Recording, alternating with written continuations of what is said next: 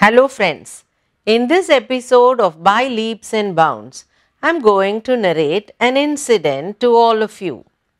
The other evening, I took a few of my friends to a room and what did we see in that room?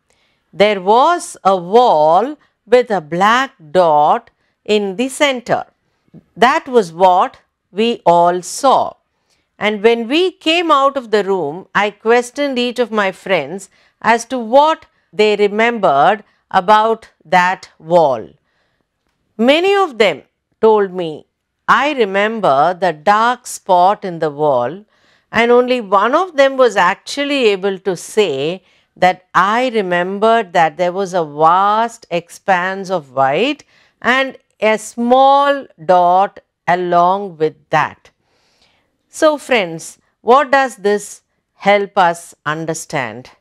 When we look at something as bright and vast as a white wall and remember only the black dot that was in the wall, then we are focusing on the not so important things.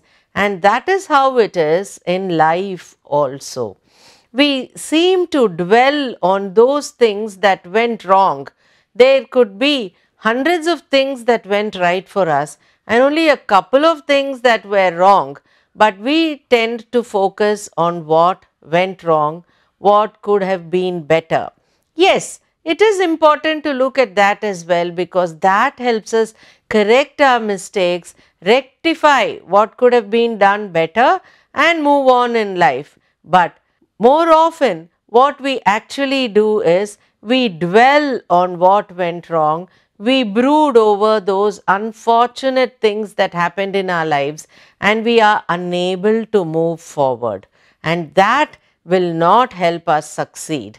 So, when we actually look at things that went wrong, as long as we limit ourselves to the fact that this could have been done better and this will be done better by me in the future, then that is a positive aspect that will help us succeed in life. But if we are going to always feel bad about the 5 marks that we lost in the max test in our third standard or the increment that we did not get when everybody around us got, we are not going to go any further ahead. What we need to do is find out what was the problem that did not help us achieve that milestone and work harder, put in more efforts that will help us progress. So, we need to focus not on what went wrong alone, but on how to correct those errors and see that those are not repeated in future.